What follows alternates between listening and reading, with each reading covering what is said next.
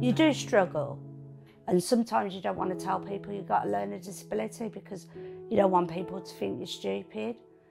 But you're not stupid, it, you can't help it. So, and that's why I never told anyone that I had a, a learning disability.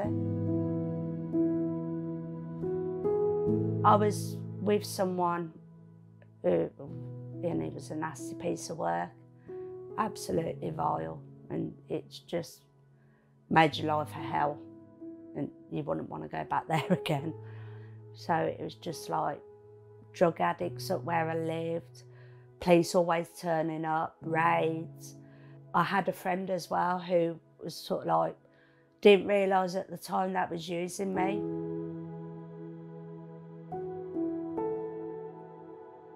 I was born with Down syndrome.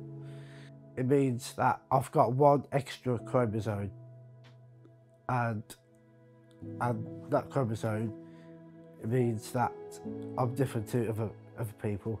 From high school, I got I got uh, bullied at, at school, and uh, had people um, not understanding my disability, and uh, got picked on, and people calling me names about me and my disability.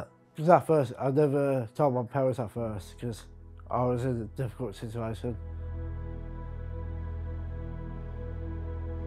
I was introduced to Andrew, it was a couple of, two or three years ago, and he was sort of like going to be my support instead of my other support worker.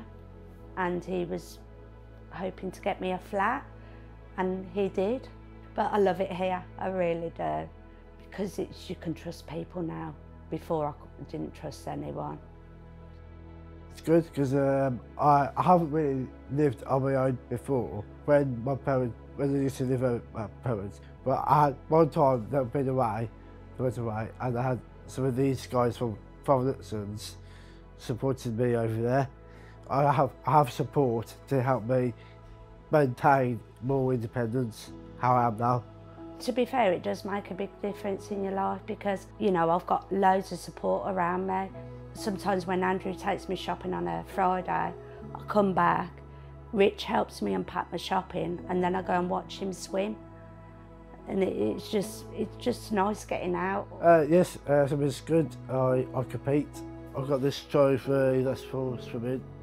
When I'm, if I competing, I'll get home to I do my, I do my struts and that stuff and that. So just give me hyped up for it and um, yeah, it's good. Father Hudson's does change your life. From where I used to be, like I wouldn't say boo to a goose. And now, like even my mum says, your confidence has just shot up. You can't fault it here. It's just, it's lovely.